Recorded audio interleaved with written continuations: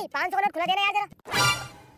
भाई पागल है क्या पाँच का नोट है? नहीं भाई पाँच सौ का नोट है कौन कह रहा है आपसे पाँच का नोट है? भाई लड़ो मत ये तो नोट ही नहीं है। इतनी बड़ी दुकान खोल के बैठे हो और भाई पाँच का नोट तो असली ले के आ जाते हैं। भाई ये दुकान नहीं यूट्यूब की दुकान की बात कर रहा हूँ मैं। अरे भाई मुझे तो पता नहीं पाँच सौ नोट है। चल भाई मुझे तो पाँच सौ रुपये वाह क्या एक्टिंग कर रहा है? हाँ भाई इसे कैसे पता होगा ये पाँच सौ का नोट है भाई? इस दुनिया का तो है नहीं। है दूसरी दुनिया से है ना तो इसे कैसे पता है कि भारत में पाँच सौ नोट ऐसे होते हैं? लो भाई। अरे भाई कोल्ड ड्रिंक क्यों दे रहे हो यार? माचिस दो माचिस आएगी लो अपनी कोल्ड ड्रिंक पकड़ो। कौन है ये लोग? कहाँ से आते हैं भाई क्या बंदा है वो भाई? कुछ मानने को तैयार ही नहीं है। वो कह रहा है कि भाई ये तो माचिस है। नहीं भाई माचिस तो है नहीं वो कोल्ड ड्रिंक है भाई। और कोल्ड ड्रिंक को माचिस बता रहा है।